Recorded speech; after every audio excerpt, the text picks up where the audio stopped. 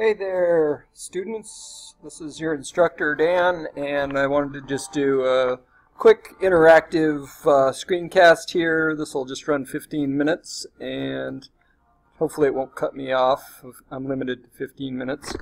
But what we wanted to do here was to take you through and um, just review a little bit of what we're going to be doing with our quiz number one.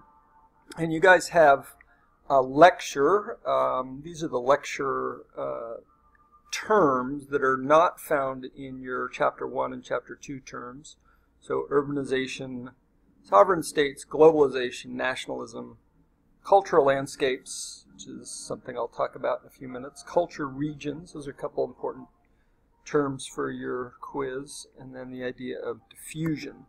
And of course, then we also have the um, lecture or uh, excuse me, the chapter terms. So your chapter terms look something like this. Obviously, uh, for a first quiz here, uh, geography is going to be important on your quiz. Place and region, uh, scale, um, something that we look at a lot with maps and uh, how we change the level of detail and the extent that we uh, study things, whether, again, we'll see some good examples of that in a few minutes here. Um, connections, geospatial technologies, you should know what those are. Location, uh, very central to what we do in geography. Uh, again, these are out of the textbook, so uh, plane of the equator, circle of illumination, great circles, don't worry about those. Um, generally understanding what latitude is, the difference between latitude and longitude is helpful. And um, remote sensing, GPS and GIS, the core geospatial technologies. Okay, a lot of detail over here on this side looking at population. I won't ask you a lot of questions about that, but understanding that we look at population in terms of population density, some of these general measures of population, having a familiarity with those. Um, the demographic transition model, something we talked about a little bit, this idea of the LDCs and the MDCs. Um, so not quite as much from that particular um, unit for this, uh, this first slide. So uh, images of a nation, geographic perspectives on the U.S. from air, land, and water. I have just flown across the country, so I wanted to share some images. The Great Basin, perfect example of a, uh, a formal region defined in this case by the physical features of the landscape. This dry, arid landscape. You see these um, river channels that are just draining into these uh, these basins. Uh, this was an interesting thing to spot. In the, I zoomed in here. You see the circle, great solar facility, indicating the hot, clear, dry conditions that are found there. Fires burning in this uh, rather rural uh, part of uh, the state of Nevada. Again, driving, flying across the west, we're going to see these um, of uh, landscapes that are uh, less populated. So a lot of interesting physical features that we can see, such as these canyon lands. Uh, the imprint of water in the west. And some of these are not necessarily themes that we'll look for on your quiz, but just some interesting things that I observed out the window of the aircraft the other day.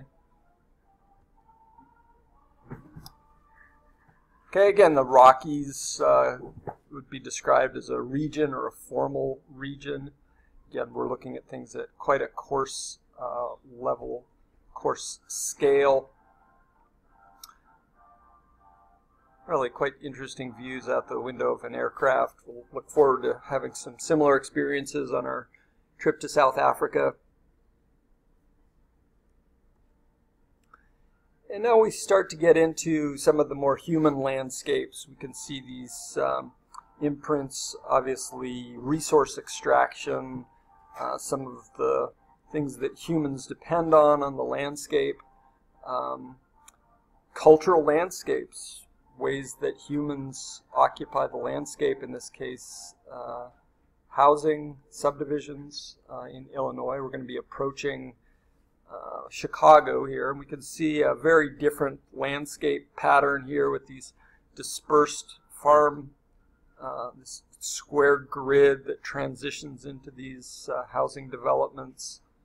And of course, uh, this idea of connections. Um, humans use uh, interstates and other highway systems, obviously, for moving people and goods and services.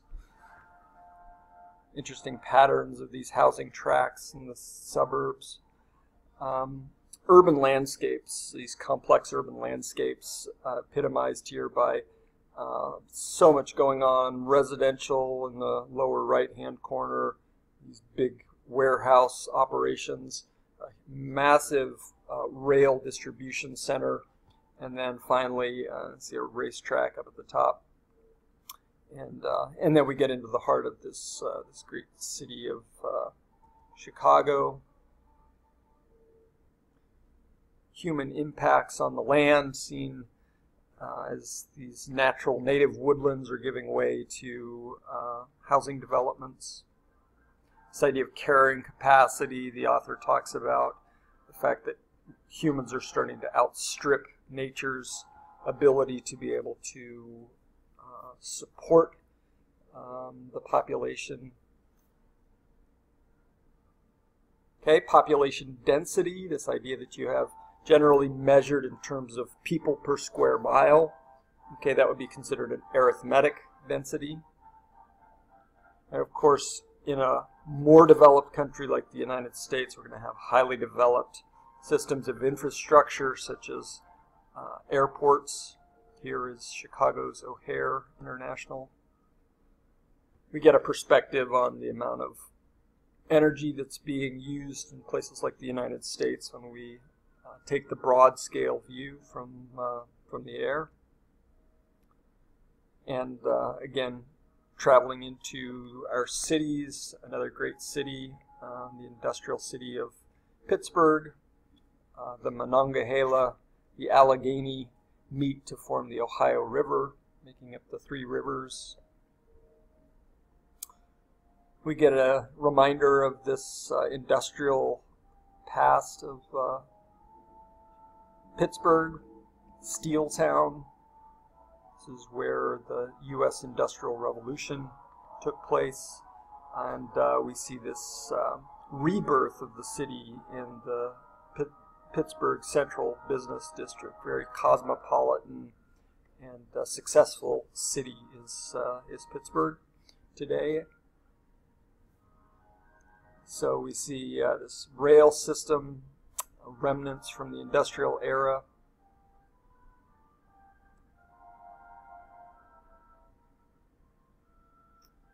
Again, we can see these uh, lots of indications of what was here before and also things that have uh, changed. So Pittsburgh's Cut Flower Company is now found uh, where the steel mills used to reside decades ago. As you may have gathered, we're crossing the um, state of Pennsylvania by rail here. So this is the heart of the Appalachian Mountains, in this case the Allegheny Mountains, where coal was mined to feed the Industrial Revolution. And again, we get this sense of these, uh, these cultural landscapes that have developed um, this evolution of transportation systems in a highly industrialized country like the United States. State capital of Harrisburg, America's original transportation miracle was the railroad. And now we transition to a busy Brooklyn weekday, Brooklyn, New York, that is. You see the sign advertising uh, create something, and uh, you can see uh, uh, gentrification, we'll talk about in a moment here, but you can see the African American hairdresser uh, business in the middle here. Um, this neighborhood we're staying in still seems to be about 50% uh, African American uh, but is uh, changing rapidly through a process known as gentrification. And uh, again, I talked about the fact that we're in this transition stage of urbanization around the world. Every place is increasingly urbanizing. And of course, New York is uh, the great urban center of the United States. And we see money leading to the development of um, formerly low income and working class neighborhoods. Uh, and uh, one man yesterday was uh, commenting on the fact that uh, not too long ago you could get a two bedroom place in Brooklyn for a thousand dollars and now you pay two thousand dollars for a studio. Central Park, uh, this is Strawberry Fields dedicated to, uh, to John Lennon who lived and died not too far from this very spot. And of course the great uh, Central Park. Washington Square Park, famous for uh, the folk revolution of the mid 1960s. So lots of uh, musicians and others that are out, as well as just citizens of the community and tourists alike. Course, this great city depends on moving uh, people through uh, rush hour during the uh, on the subway tends to be quite crowded and uh, busy, very difficult uh, to move 9 million people around in a city, but New York manages to do so. And a view of the Big Apple from across the East River in Brooklyn.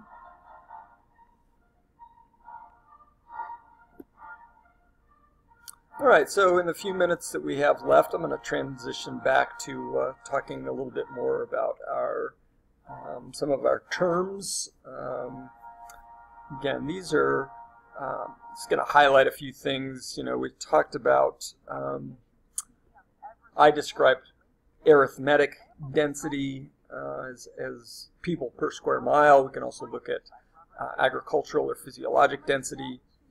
Um, again, these are essential basic measures of population, crude birth rate, crude death rate. Those are births and deaths per thousand in the population. Uh, doubling time of the population, um, fertility rate and mortality rate and life expectancy. Uh, when you're thinking about those things, try to relate them to this idea of less developed countries and more developed countries. Obviously, South Africa is going to fit into the LDC category. The United States and much of Europe would be considered MDCs. Um, and talked about some of the population changes. When you do be familiar with the demographic transition model, just this basic idea of how population changes through time and uh, the role that the agrarian, industrial, and medical revolutions played in the past in um, developing uh, population, seeing population growth advance. Okay, so again, we did talk a little bit about um, latitude and longitude. I'm just going to use um, Google Maps to illustrate this. Um, I'm, I'm sitting in Brooklyn, New York as I write this, so I'm zoomed in on New York. And this is an example of scale. Okay, so I'm uh, changing the scale of the map. We see the level of detail of the map that changes. And then we can also get an idea about um, location. So we could look at uh, New York in terms of its relative location. We can see that it's to the east of Pennsylvania, to the south of Massachusetts, to the north of Washington, D.C., for example. That would describe its relative location. Or we could describe it in terms of its absolute location at 40 degrees, 40.69 degrees north latitude, and 74 degrees east longitude, ne negative indicating east. Now, interestingly enough, if you were to look at Redding, where you guys are sitting, and we were to look at the location, we would see that Redding sits at 40 degrees north, 122 degrees west longitude,